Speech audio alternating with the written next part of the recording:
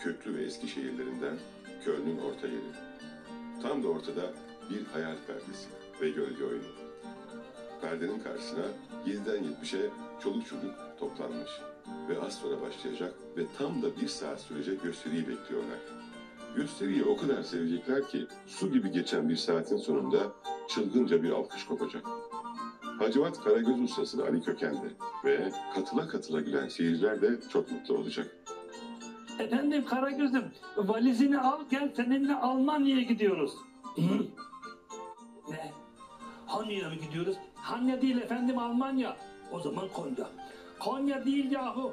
Deutschland, Deutschland. Hiç duymadın mı? Ha duydum Koçland.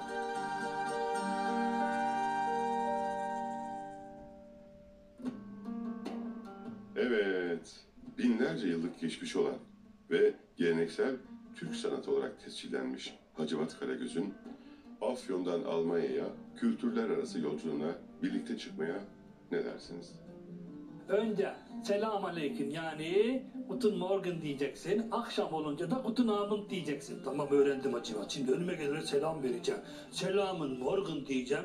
Akşam da birini sen görürsem ulan Ahmet sen daha yatmadın mı diyeceğim. Usta şair, tarifsiz kederler içindeki Orhan Veli, İstanbul'un orta yeri sinema, garipliğim, mahzunluğum, duyurmayın anama demiş ya.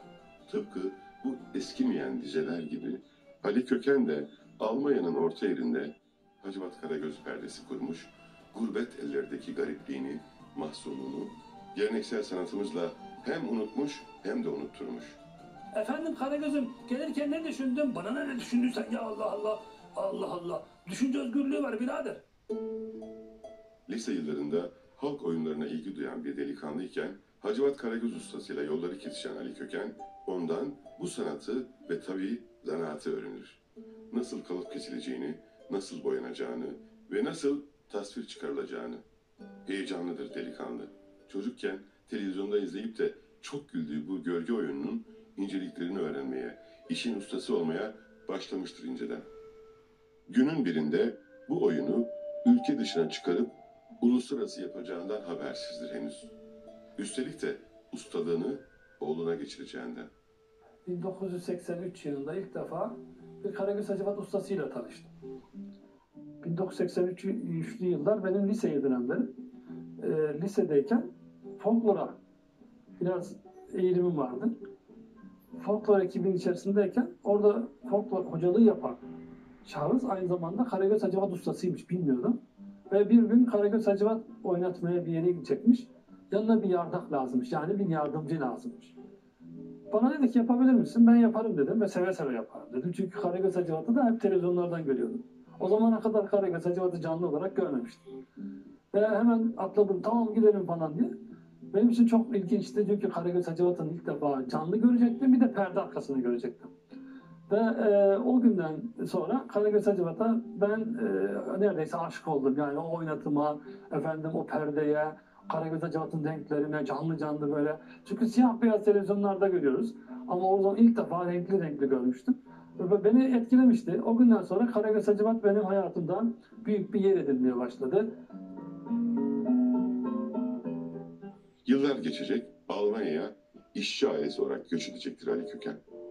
Deriden yapılmış Hacivat Karagözlerini yanında getirdiği sandıkta tozlanmaya bırakmıştır sessizce. Tiyatroya meraklıdır ama Almancası yetersizdir. Belli tiyatrolarda çalıştım ufak tefek. Kendim küçük tiyatro grupları falan kurmaya çalıştım. Efendim bazı oyunlar yazdım. Ee, sonra köy seyirlik oyunları üzerine araştırmalar yaptım. Ve o araştırmaları e, bazılarını işte yayınlamak veya efendim sergilemek istedim falan. E, 94 yılına kadar böyle bir çalışmalarım oldu ufak tefek. İş bulma sıkıntısı çekerken, tiyatro araştırmalarına ağırlık verirken kafasına bir anda bir fikir gelir. Evet, sandıkta unutulan iki sevimli, huysuz, aksi ve çok bilmiş tiplere hayat verecektir. Ama nasıl? Kolları sıvar, polikarbondan tiplerini yaratır ve onlara yol verir. Karagöz Hacivat'ın içerisinde yüzlerce e, e, tasvir var. Bu tasvirler değişik değişik yörelerin tasvirleri. E, Türkiye'nin çok kültürlülüğünü yansıtan e, bir oyun zaten. O nedenle E, bunların kalıpları lazım, çizmeniz lazım falan. Hiçbir şeyiniz yok. Deriniz yok bir defa. Deriyi işlemeniz lazım. Ki gibi bir deri işlemek çok çok zor bir şey. O nedenle ne yapabilirim, ne yapabilirim düşüncesini. E, ilk defa dedim ki sonra e, ben bunu e, polikarbon buldum. E, sert bir tabaka ve boya tutan bir şey. Bundan yapabilirim. Ha, ondan yaptım, perdeyi kurdum. Efendime söyleyeyim, Karagöz Hacivat'ı efendim çizdim, kestim. Karagöz Hacivat'ı işte boyadım. E, sonuçta oyunlar yazdım ufak tefek falan. E, ben perdeyi 1994'te ilk defa perde açtım. Değiştirelim efendim. Mesela senin adın şey olsun. Benim adım şeyim olsun. Hayır efendim senin adın Mersin olsun. Ve ilk defa bir cami etkinliğinde sahneye çıkar, büyük alkış alır. Hacivat Karagöz ve tipleriyle seyircileri güldüren Ali Köken artık başarıya ulaşmıştır. Ardı ardına teklifler gelir. Hollanda'ya dahi gider.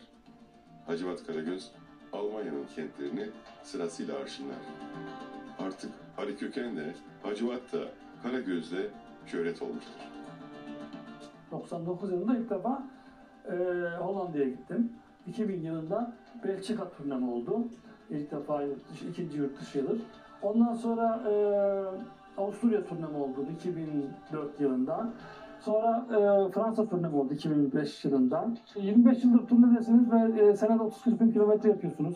Değişik değişik yerlerde hiç kimsenin bilmediği, ki, efendim, hiç kimsenin ummadığı yerlerde e, Karagöz oynatıyorsunuz. E, Dağın başında Karagöz oynattık yani e, hiç ben ummuyordum ki dağın başında Karagöz oynatılır. Evet Kara, dağın başında Karagöz oynattık. Geldiler bizim eşyalarımızı aldılar. Teleferiye bindirdiler. Teleferikle biz dağın başına çıktık. Orada bir otelde bir sürü genç var. Bir denilen gençlik toplantısı varmış. Biz orada Karagöz oynattık onları. Yani ilginçti. Bir bakıyorsunuz efendim işte e, camilerin kermesi var. Çağrılıyorsunuz, gidiyorsunuz. Size bir yer ayrılmış. Efendim işte e, orada Almanlara veya Türklere, karışık insanlara Karagöz oynatıyorsunuz. E, festivallerde Karagöz oynatıyoruz. Sırada oğlu vardır. Tıpkı yıllar önce halk oyunları hocasının ona el verdiği gibi o da oğluna el vermiştir. Üstelik de Hacivat Karagöz'ü artık Almanca oynatmaktadır baba oğul. Hem de el ele. Almanya'nın orta yerinde. Ja, was bist du? Ja, ich habe Telegram aus Deutschland bekommen. Mein Onkel ist gestorben. Wir müssen nach Deutschland fahren, aber ich habe kein Geld. Kein Problem arkadaş. Ve çocuklarım Karagöz'ü sevdiler. Yani ben okula gittiğim zaman, geldiğimde çocuklarım küçüktü zaten okula giderken. Geldiğimde evde ders çalışırken, uygulamalar yaparken benimle birlikte uygulamalar yapıyorlardı. Ki benim hoşuma gidiyordu yani beraber yapıyorduk. Yanlış yapıyorsun diyorlardı bana. Öyle yapmayacaksın, böyle yapacaksın. Uyarıyorlardı. Ben onları uyarıyordum falan. Yani tiyatroya ilgileri de küçüklükten vardı zaten. E sonra e, işte bir yerdeydik. Almanca bir Karagöz oynatacaktı. Dedi ki bana sen e, senin ağız yani Almanca ağızda biraz da farklılık var. Çünkü sen burada yetişmediğin için, sonradan Almancayı öğrendiğin için telaffuzda bazen de değişiklikler var. Ee, böyle değil yani ben daha güzel yapabilirim. 16 yaşlarında falandı. Ben dedim ki perde senin. İşte buyur. Yani işte meydan. Çık oynat o zaman. Ve çıktı. O zaman da tiyatro oynuyordu zaten. E, Öylelikle ikinci usta yetiştirmiş olduk. Gariplik ve mahzunluk mu? Çoktan unutulmuş, savrulmuştur. Tarifsiz kederler, kahkahalar arasında sanki hiç olmamış, hiç yaşanmamış gibi. Haydi bakalım. Hoşça kalın, dostça kalın, boşça kalmayın.